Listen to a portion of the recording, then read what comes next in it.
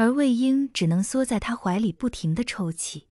兔子什么时候能斗得过狐狸呢？魏婴失踪两个半月后，兰大来到了私宅。兰大来时，兰二正搂着魏婴坐在小院里，一边晒太阳，一边喂魏婴葡萄吃。那葡萄是蓝湛特意让暗卫从云深不知处采摘，御剑飞行送到宅子里的，绿莹莹如鸽子蛋般大小葡萄，是上古时期遗留的仙藤所结，从发芽到结果都是用特制的药材浇灌，四季悉心呵护，果子是修仙者补气养丹的珍品。整个云深不知处也只培育出来六株，真真是千金难求。蓝湛拿起一颗葡萄。喂给魏婴，魏婴犹豫了一下，还是张口嘴吃了进去。自那天后，他的小兔子乖巧了很多。看到蓝大走近，魏婴有点慌张，挣扎着从蓝湛身上起来。蓝二却神色依旧，一点没有瞒着蓝大的意思。能到这里，不就是什么都知道了？他们兄弟二人还是有些许默契的。羡羡，回房间休息吧。魏婴点点头。听话的走了，经过兰大时，还是很规矩的向他见了礼。兰大直接坐在兰二面前，他这个弟弟生来金贵，也生来霸道，想要的不管用什么手段，都一定要弄到手。哎，被他瞧上也不知是福是祸。蓝湛伸手给他大哥递了杯茶，尝尝顶级的云山雾雪。你的东西自然都是最好。是啊，我也只要最好的。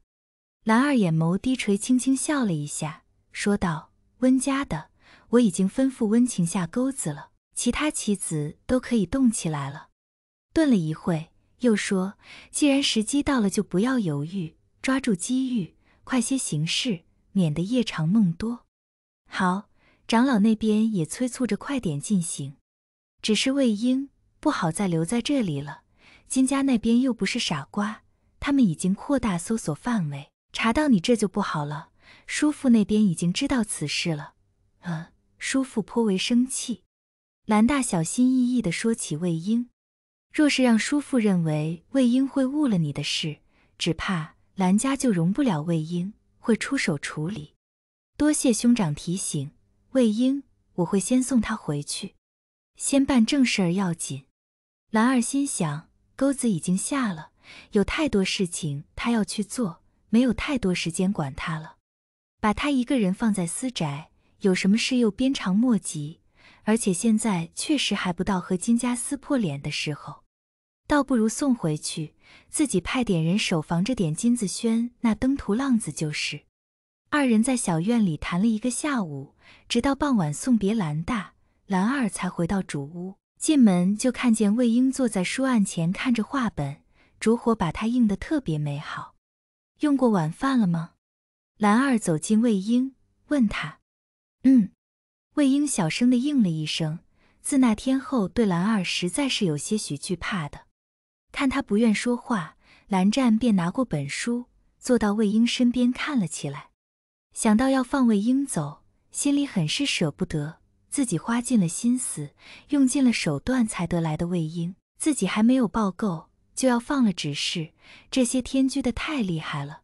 现在魏婴话也少了，笑也少了，瘦得厉害，整日恹恹的不开心。他的小兔子可还在天真烂漫的年纪，先放回去吧。于是放下手中的书，用他那清冷的声音对魏婴说：“羡羡，明日送你回金家，可好？你放过风筝吗？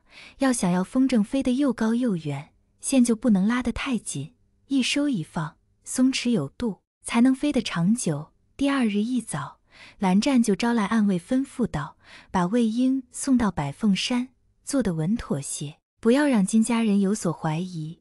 静四、静五不必回云深，跟着魏婴保他安全，随时向我汇报他的情况。”是，是。送魏婴回去的过程很是顺利。金家的人在这天清晨。伴着薄雾，在百凤山围场的一处隐秘的洞穴里发现了他。金子轩找到魏婴的时候，已经高兴疯了，根本没有细想他一个坤泽这么多天是怎么在百凤山活下来，又是怎么躲过百家搜索的。他只知道他的线线平安的回来了，这比什么都重要。金子轩这两个多月为了找魏婴，自己也瘦了不少。看着线线一身乱糟糟的瘦了一圈，又是心痛又是内疚。线线，对不起，都是我的错，我没有保护好你，都怪我。说着说着，自己竟然哭了起来。羡羡，你有没有受伤？身上可有哪里不舒服的吗？子轩哥哥，不怪你，你看我好好的。看到金子轩哭了，想想自己这些日子在蓝湛那里受的委屈，他还只能咬碎牙往肚子咽，自己也跟着哭了。你受委屈了，羡羡，你看你都瘦了。金子轩只觉得他的魏婴是因为在百凤山少吃少喝又危险，夜里有那么冷，他一个人受了大委屈了。拉起魏婴的手，哭得更大声了。子轩哥哥，别哭，羡羡。你能平安回来，子轩此生就别无所求了。子轩的大手拉起羡羡的小手，手拉手的哭。子轩哥哥，哇，羡羡，这俩傻子就这样当着众人的面又抱着哭了半天，哭够了，众人才回了金陵台，手拉手，抱着，在私宅里听完暗卫汇报的蓝湛，牙都要咬碎了，气得摔了一套名贵的米窑。暗卫站在下面不敢出声，等着他非剁了金子轩的狗爪子不可。就这醋意滔天的样子，完全忘了金子轩才是魏婴的正经未婚夫。等蓝湛撒完了气，才带着暗卫离开宅子。金陵台那边，金光善和金夫人、金家长老可没有金子轩那么好糊弄。几个人在前厅围着魏婴问东问西，魏婴一一回答。并没有什么破绽，后来还招来了医师来给魏婴检查身体。好在兰家暗卫做事细致严谨，魏婴身上被整理得很干净，看不出任何痕迹。最后金子轩看不下去了，开口：“父亲，羡羡刚刚回来，还很虚弱，别问了，先让他去休息吧。”这个时候，江家姐姐江艳离哭着来到了前厅，看到魏婴就拉着他：“羡羡，你可算回来了，姐姐担心死了。姐姐，好了好了，回来了就好。这些天我担惊受怕的，就怕你有什么意外，回来就好。说着又是一阵哭。是啊，你失踪后，你姐姐日夜都哭。金子轩说着，眼睛又要红，让你们担心了。好了，金光善看金子轩那没出息的样子就心烦，说魏婴能平安回来。也算是上天庇佑，魏婴回去好好休息吧。是，魏婴告退。说完，便由金子轩将燕离陪着回到他的房间休息。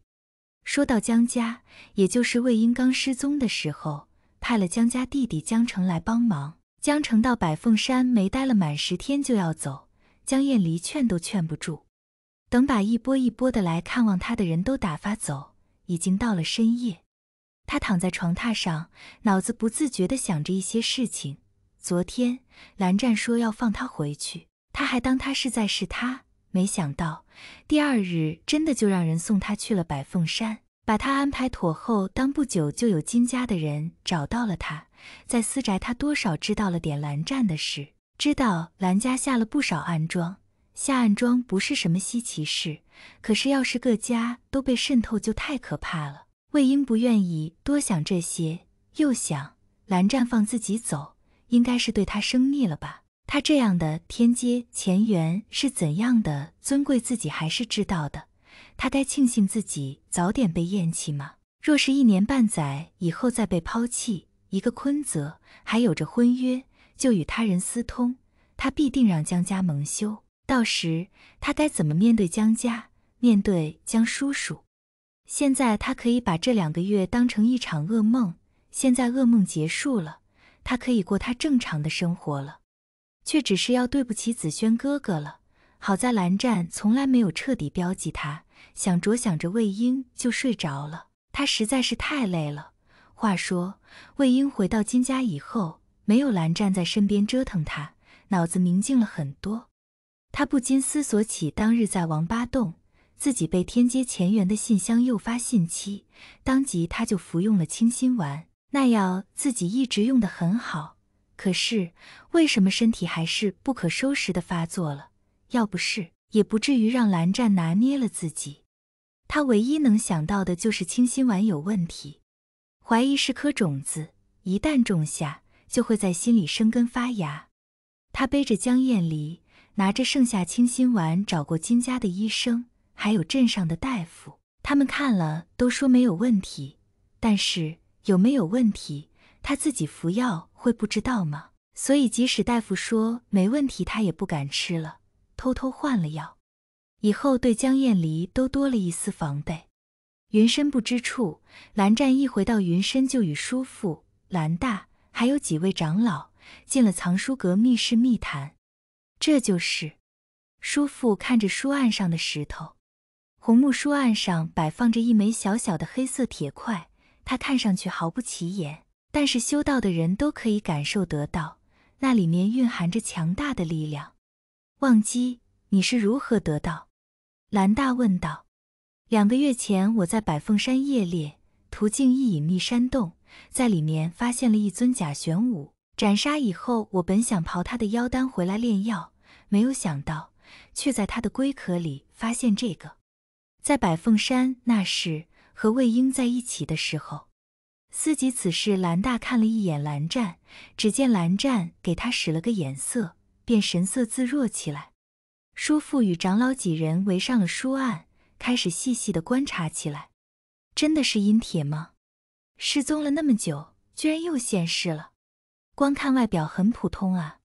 百年前阴铁出世，各家无不觊觎阴铁的强大力量，想要占为己有，因此导致仙门大乱。期间无数豪杰才俊死于这场大乱，几大仙门都有所损伤。有几家甚至直接从这世间消失了。可是造成了如此大乱的阴铁，有天竟然自己消失了，就好像他从来没有出现过。百年了，要不是当年参与过那场暴乱的人有些还活着，谁能相信世上真有这么一个东西？现在他竟然又出现了，还被他蓝家得到了。没有想到百凤山一行竟然有如此收获。忘机做得好，叔父摸摸胡子，满意极了。是叔父，本来我也不敢相信这是阴铁，毕竟已经失踪百年。但是这两个月，我遍查群书，多方求证，我很确定它就是阴铁。蓝湛说道：“好，好，好，真是天助我蓝氏。”说着，几位长老也跟着过来喝好起来。